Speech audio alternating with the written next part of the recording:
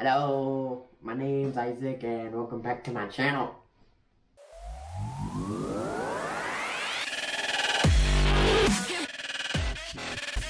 Yeah! Today I'm gonna make some special coasters that a friend requested. So shout out and thank you to the Crouches. My friend ordered coasters that use the technique called the chain pull, and personally, I think it's really cool. Let me show you what the coasters look like. Okay, so the chain pull technique makes this really cool design that looks like a flower. So, here's what the purple one looks like.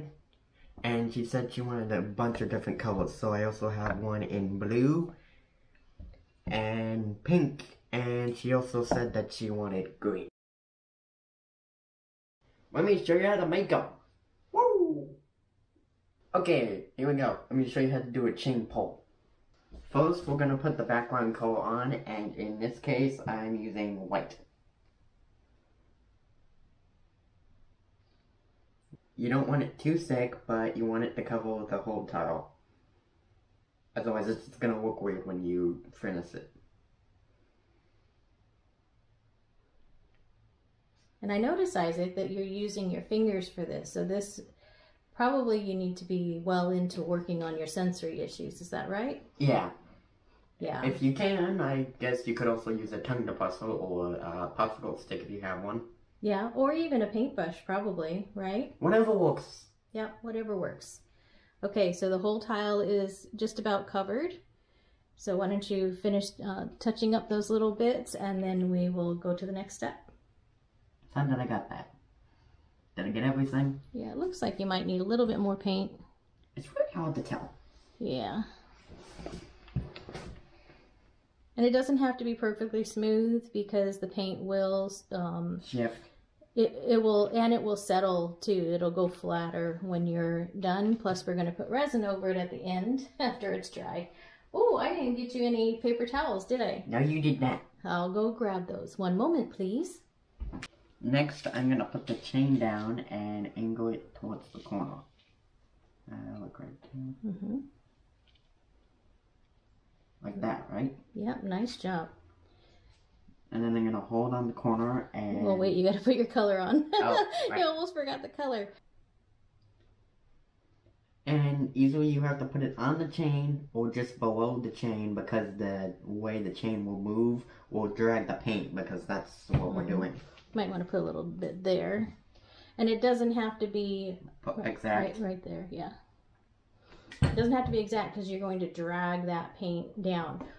You can dip, hang on, look, before you do that, you can dip the actual chain in the color and then lay it down. But we find it's a little bit easier to do it this way because if it, you get the chain where you don't want it, you can move it. Yeah, Alright. and then if you don't get the chain where you want it when it's already dipped in the paint, Then you're stuck with the paint there. or you have to scrape it off. so wah wah. So now what are you doing? So now I'm holding my fingers on the edge of where I laid the chain over, and then I'm just gonna pull and it's gonna make a design. Woo! Look at that. Pretty. So I think we could have used a little bit more um, paint along the chain Yeah. to make more of a flower. So we're going to do it again and um, and see if we can get more of a flower. Okay. So let me scrape this. I'm And see, this is too. the nice thing about tiles too. You can scrape it off and just redo it. Okay, take two. And maybe you could like have like a little um Woo! There you go. That looks beautiful. yeah. Ooh. So I'm going to turn it so that the camera can see it a little better.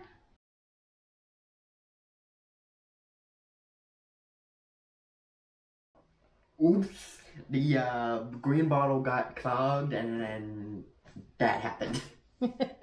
kind of exploded everywhere, eh? Yes. Well, in the bottle for that, not us. So we could scrape it, but we're just gonna go with it, and here's the hope that it looks good. and if it doesn't look good, then we'll scrape it. All right, let's go. One, two, three.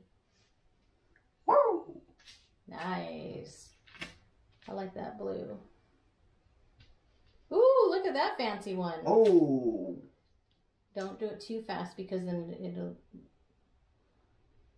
Oh, that might actually work. Oh no, no, Not quite. not quite. Here, clean your fingers off. It almost did. I will scrape it and we'll do that one again. Yes. But let me move these two out of the way. Okay, round three. Here we go. Ooh, that's oh, pretty. Yes. Wipe, Yes. wipe, wipe the blue off your fingers so you don't get blue on the green. I'm only holding the chin. Oh, well. Yeah, you're gonna get it on the edge. Yeah. So it will look really cool. Ultimately. oh, that turned out way Oh, better. Nice. yes. Take number two, success. Take number three. Take number three, Oh, maybe success. maybe two. I don't know. I don't know what take. We've lost track.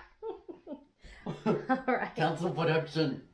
Okay, we're gonna let these dry and resin them, and we'll show you to them, and Show you to them. we'll show them to you. Twisted words. Yes! I'm all sorts of jumbled today. I hope you try this painting technique at home, and I hope if you do try it that you think it's as fun as I do. Thank you for watching, and I hope you like and subscribe. Peace!